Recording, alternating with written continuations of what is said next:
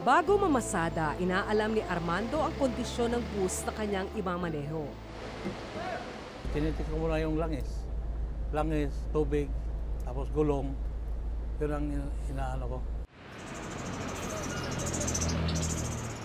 Mahigit tatlong dekada na siyang driver ng bus.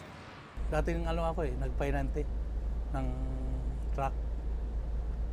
Tapos, eh, sinusubok-subukan ko pag, ano, drive-drive. Yun, natuto, doon ako natuto. Hanggat sa, nag, ano ako, family driver. Hanggat sa, nag, sinubukan ko mag-apply ng bus. Yun, natanggap ako.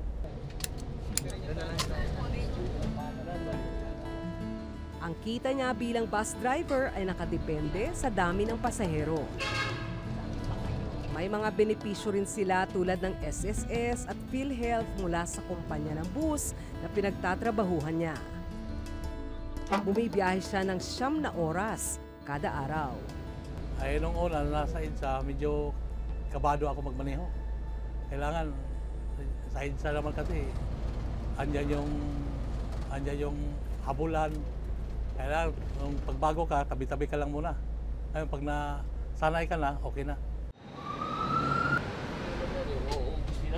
Bago itinayo ang Paranaque Integrated Terminal Exchange o PTEX mula sa Alfonso Cavite hanggang Loton, Maynila ang ruta niya. Kung maglutong pa kami, talagang punong-puno to.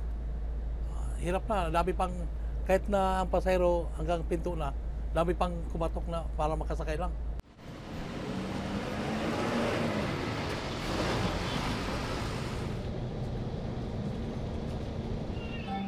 Sa pagiging tsuper, napagtapos niya ng kursong Bachelor of Science Major in Marine Transportation ang panganay na anak. May tatlo pa siyang anak na pinag-aaral. Dalawang elementarya at isang senior high school. nasa masipag ka, ah, magka-team din kayo sa pamilya, napakaganda, napakaganda naman ang ano nyo. Katulad namin, kailang kami, ako, nakapagpatapos na ng anak sa pag-drive ko lang. Sino ano doon? Pero mukhang magiging problema na ni Armando ngayon ang pagpapaaral sa mga anak. Yung anak ko, kung magganito lagi, baka yung isang high school ko, hindi na makapag-aral ng college. Ay wala, wala lang kikitain. Isinisisi niya ito sa Paranaque Integrated Terminal Exchange o PTEX. Lumiit kasi ang kita niya dahil bawal nang dumaan sa EDSA ang bus na minamaneho niya. Ibig sabihin, umigsi ang ruta niya. Kuya, senior yung isa ha. 120 pesos ang pamasahe dati kung mula Alfonso Cavite hanggang Loton. Pero dahil hanggang Pitex sa Baclaran na lang sila, ay hanggang isandaang piso na lang ang pamasahe na nasisingil nila. Nung nagluton kami, maganda talaga kinikita namin. Yung umabot kami ng ano, 1.8 ganun, ganun ang kinikita namin. Ngayon, pagdating dito sa Pitik, ang kinikita namin 500. Tapos kainan pa. Ano mangyayari dyan? Kainan pa na 50. Kain ka sa Alfonso, wala na. Wala, wala ka na may iuwi. Ibinaba ni Armando ang mga pasahero niya na galing Cavite.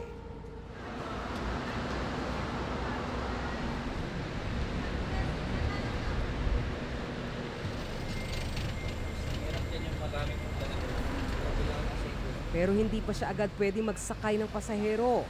Sa staging area muna siya.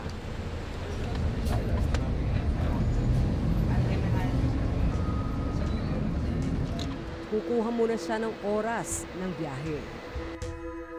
Kailangan pa niyang maghintay dahil nakapila na ang ibang bus.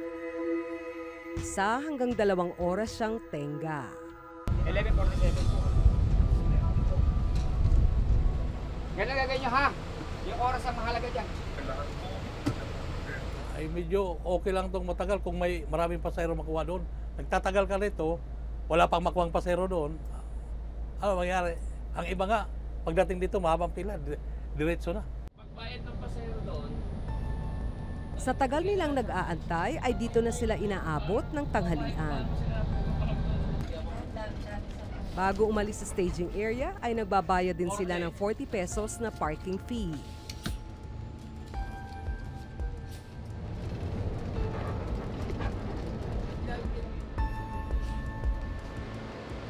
Makalipas ang mahigit isang oras ay nakapasok na sa PTEX si Armando. Pagdating dito ay hanggang 20 minuto lamang sila pwedeng maghintay. Hanggang 61 ang kasya sa bus, pero 22 lamang ang naisakay niya. Wala pa sa kalahati. Ang dati nakita niyang halos 2,000 piso kada araw ay lumiit sa 600 piso. Ganun lang, sabi, na pagkakaroon daw din ng pasahero. Ang problema, may pinapadiretso sila. Dapat lahat na, lahat na, pitix lahat, para walang, kahit kami, okay na sa amin eh, kung lahat pitix na. Lahat ng bus, wala lang papasukin Loton, Pasay. Okay na. So we started off kasi talaga as a dry run. Is until now it's still a soft run talaga. Yung kumbaga soft launch, hindi natin hindi pa nagfo-full blast operations pa talaga. So talagang kailangan natin alamin. Kaya nga educational process po tayo. May mga provincial bus daw na pinayagan ng Land Transportation Franchising and Regulatory Board o LTFRB na huwag dumaan ng PTEX. Ngayon, pa lusong namin, kadaming pasahero, ayaw, ayaw magsasakayan kasi yung signboard namin, pitix lang. Sa Memorandum Circular 022 ng LTFRB, pinayagan ang halos 200 provincial buses na makadaan pa rin sa EDSA. Ayon sa DOTR, umaabot sa halos 2,000 ang mga bus na dumadating sa PTEX. Ayon sa pag-aaral ng DOTR noong 2015, ito ang mga bus na may ruta na hindi raw praktikal kung dadaan pa ng PTEX. said kailangan ho ng 15 Ayon kay dating LTFRB board member Eileen Lizada, pineke ang kanyang pirma sa So nasabing record, dokumento. Lizada, do you think that, are you saying now that Chairman Delgra falsified this uh, signature in your document? I am under oath and I say yes. Chairman Delgra, your answer to that? I am under oath and I absolutely deny the uh, malicious allegation.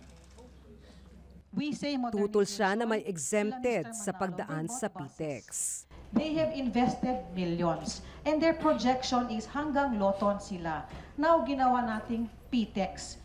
But they still agreed kasi pantay-pantay lahat, walang pinaboran. Now comes MC022 favoring others. It is not fair to them. Ayon naman sa LTFRB chairman na si Martin Delgra, hindi peke ang dokumento. Matapos ihayag na pineke ang kanyang pirma, inilipat si Attorney Lizada sa Civil Service Commission o CSC bilang commissioner. Tumanggi namang magpaunlak ng panayam ang mga opisyal ng LTFRB.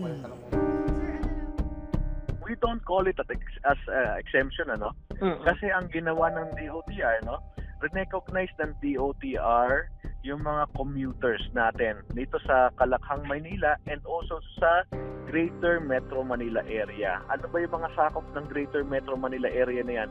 Yan yung mga immediate LGUs na ka- kat- katabi ng Metro Manila. Isang hakbang na lang Metro Manila na. Hindi natin sinasabi na napaboran ang isang isang ah, bus operator kasi ang talagang napaboran dito is yung mga commuters dito sa sinasabi nating Greater Metro Manila area. Kaya si Armando, doble kayod sa pagmamaneho ng kanyang bus. Pag umuwi ako, wala pera, ano mangyari?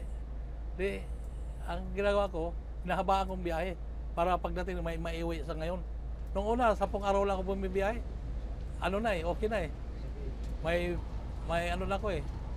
May pera na eh, may pangbayad na lahat. Ma, nababayaran ko na yung mga ano doon sa bahay. Ngayon, mga ano na, 15 days na. Hindi pa ko umuwi kasi wal- kulang nga. Kulang sa kita.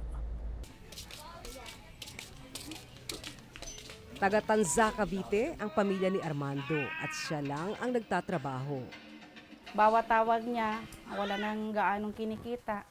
Maliit na lang po talaga, hirap na hirap pong pagkasyahin kahit sa pang-araw-araw namin. Kinakausap po yung mga anak ko na sa pagkain namin, medyo kung ano na lang yung meron dyan, pagkasyahin namin. At nagliles po kami sa mga gamit ng kuryente at sa tubig kahit papaano po makabawas sa mga bayarin. Nawawala na nga raw ng oras si Armando sa kanyang pamilya. Noon po, mga sampung araw, minsan isang linggo, nakakauwi na po siya. Dapat po, nung isang araw pa siya dapat mag-day off. Kasi naka 12 days na po siya. Hindi pa po siya makakauwi kasi wala naman po siya pang maiuwi na magsasapat sa amin. Kaarawan ng kanyang bunsong anak noong linggo pero hindi nakauwi si Armando. Wala kaming pambadya sa panghanda. Pero okay lang naman po. Pinapaliwanag ko sa kanya na simula po nung ah, pumasok po ng ganitong nagka-problema po dun sa biyahe ng tatay nila, unti-unti ko pong pinapaliwanag na anak, yung dati na dati na pag nagbe-birthday siya na may mga handa, ah, ngayon, hindi naman po sa walang-wala. Ah, meron naman pong konting, kahit isang kilo spaghetti, yung cake, hindi po nawawala sa kanya. Sana bumalik po yung dati na nakakadiretso po sila ng Lawton. Kasi okay po talaga dati. Bigla na lang, mama, bibili kami ng ganito. Pinoproblema ko talaga siya kasi wala na ako yung basta dati nadudukot ko, na tabi-tabi ko. Ngayon, malaki po talagang, minsan iniisip ko na lang, bahala na lang si Lord. Yung iba dyan, umaalis, may... Para kay Armando, dapat patas ang patakaran sa mga bus. Mas maganda kung wala ng pitik. Siyempre, ibabalik ang kita namin.